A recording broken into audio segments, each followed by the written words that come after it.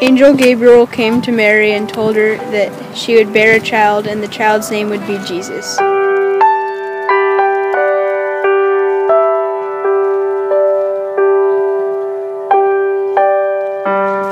And Mary and Joseph rode to Bethlehem.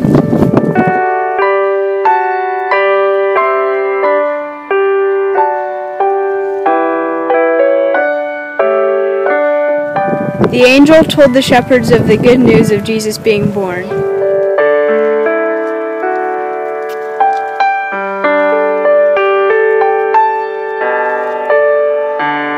The wise men saw the star in the sky and started going to Bethlehem.